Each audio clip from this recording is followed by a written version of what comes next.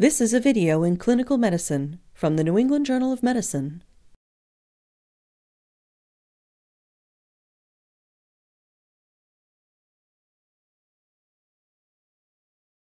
Elliptical excision of the skin is an essential procedure used for the diagnosis and management of skin and subcutaneous lesions.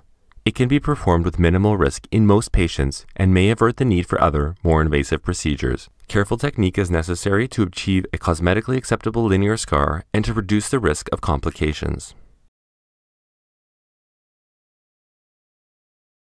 An elliptical excision of the skin is typically performed on pigmented skin lesions, such as dysplastic nevi and melanomas, and non-melanoma skin cancers, including basal cell carcinomas and squamous cell carcinomas, for which the diagnosis has already been established by prior shave or punch biopsy. In lesions with a high clinical suspicion of cancer, an elliptical excision may serve as a single-stage diagnostic and therapeutic intervention. Elliptical excision specimens allow for histopathological examination of the skin, including the epidermis, dermis, and subcutaneous fat. The procedure allows for determination of the depth of the lesion as well as demonstration of clear margins within the surrounding tissues. Complete excision of large lesions should not be performed if it would preclude primary closure, which means bringing the wound edges together when closing the defect. In such instances, or when a definitive diagnosis is desired before proceeding with complete excision, performing an incisional biopsy, either a punch biopsy or an incisional elliptical biopsy, should be considered as an alternative approach to obtaining a tissue sample for diagnosis.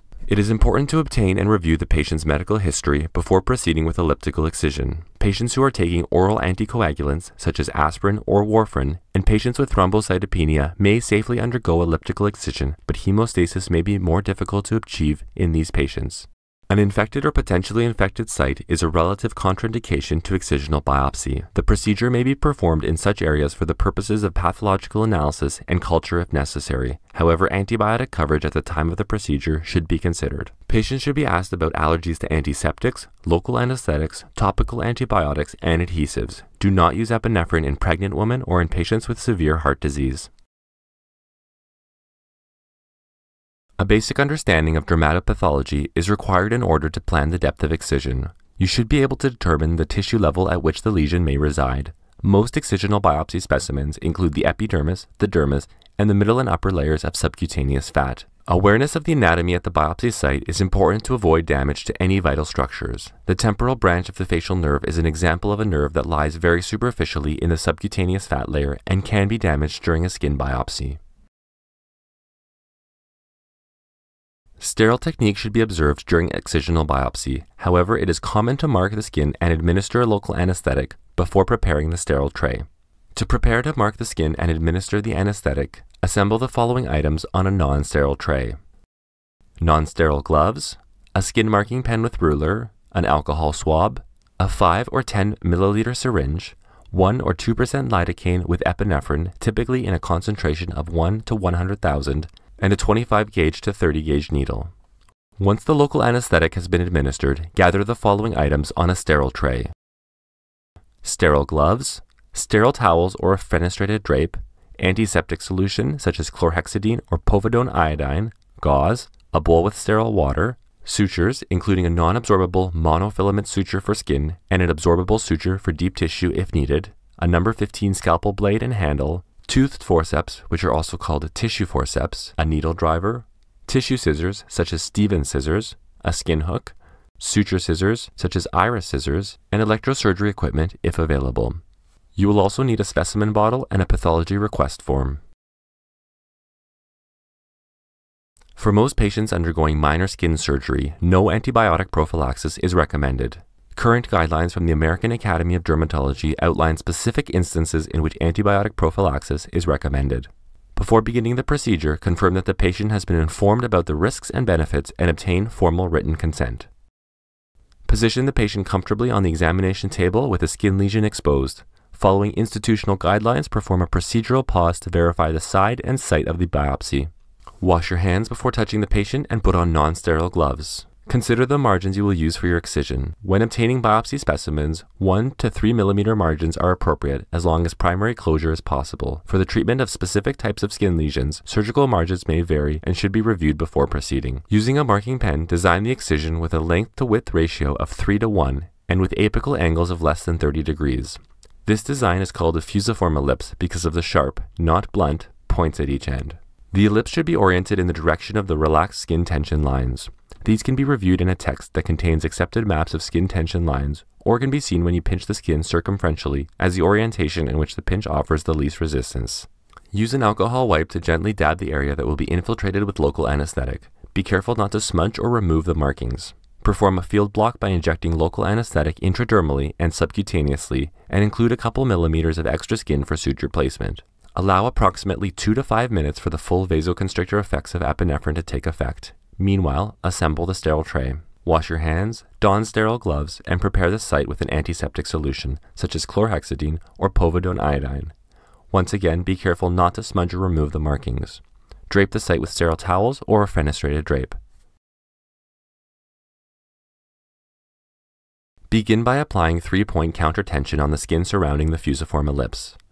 Position the scalpel at one apex such that the blade is perpendicular to the skin. Use the tip of the blade to breach the tissue at the apex, and use the belly of the blade to make a smooth, continuous pass to the opposite apex. Ensure that the incision is made to the depth of the subcutaneous fat. You may need to make an additional pass if the initial cut was too shallow. Starting again at the initial apex, repeat this step on the other side of the lesion. Using a skin hook or forceps, grasp either apex and lift the fusiform ellipse. Use a scalpel or scissors to separate the fusiform ellipse from the underlying tissues in a uniform plane. The walls and floor of the resulting incision should meet at a 90 degree angle to allow precise approximation of the edges. Place the specimen in the specimen bottle and pass it to your assistant. Hemostasis can be achieved by applying direct pressure to the wound bed for several seconds. If an electrosurgical device is available, it can be used to meticulously cauterize actively bleeding vessels. Prepare for skin closure by suturing the incision. Excisional biopsy typically requires a two-layer closure. When performing a two-layered closure, a series of interrupted deep tissue sutures are placed to eliminate dead space and to bring the superficial layers into close approximation, with slight eversion for a good cosmetic outcome. An absorbable suture is typically used. The size of the deep tissue suture depends on on the region being sutured and the tension at the edges of the wound. For example, a 3-0 or 4-0 suture is usually acceptable for the deep tissue of the trunk and extremities, and a 5-0 suture is usually acceptable for the deep tissue of the face. Next, bring the skin edges together precisely. You can accomplish this task with simple interrupted sutures, a running suture, subcuticular sutures, skin adhesive, or butterfly closures. The preferred suture material for the closure of superficial skin is a non-absorbable monofilament suture, such as nylon or polypropylene. Once again, the size of the skin suture depends on the region being sutured. A 4-0 or 5-0 suture is usually acceptable for the skin of the trunk and extremities, and a 6-0 suture is usually acceptable for the skin of the face. Gently wash the site with sterile water or a saline-soaked gauze and pat it dry. In an otherwise healthy patient, no evidence suggests the need for topical antibiotics in a clean surgical site. A thin layer of petroleum jelly may be applied to ensure a moist healing environment. A final bandage may or may not be needed. On exposed skin, the site can be left open to the air after petroleum jelly or ointment has been applied. At other sites, butterfly closures, an adhesive bandage, or a pressure dressing consisting of a non-adherent dressing, dry gauze, and adhesive tape can be used. Complications can occur during the course of excisional biopsy or even after a successful procedure. Complications include bleeding and hematoma, infection, damage to underlying structures, allergic reaction, and aesthetically suboptimal scar formation. Bleeding or the formation of a hematoma after the procedure can often be treated by first applying manual pressure and then applying a pressure dressing. If bleeding persists, hemostasis can often be achieved with chemical agents such as aluminum chloride or by electrocautery. Infection of the wound is most commonly noted several days after the procedure. Instruct the patient to monitor the procedural area for symptoms of infection, including redness, increased pain, swelling, and purulent discharge. Advise the patient to return or seek immediate medical attention should these problems arise. If you have concern about infection, obtain cultures of the wound and initiate appropriate antibiotic treatment.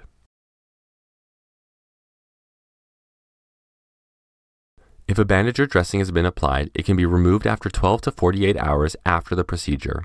At this point, the biopsy site can be cleaned with soap and water twice a day. After the site is dried, petroleum jelly can be reapplied to function as a barrier and to promote a moist healing environment. The timing of suture removal depends on the location of the biopsy and the amount of tension in the closure. In highly vascularized areas with rapid epithelialization, early suture removal is advised to prevent epithelialization along the suture tracks, which is known as train tracking of the skin. Sutures on the face are generally removed after 5 to 7 days, sutures on the back and legs after 14 to 21 days, and sutures elsewhere after 7 to 10 days.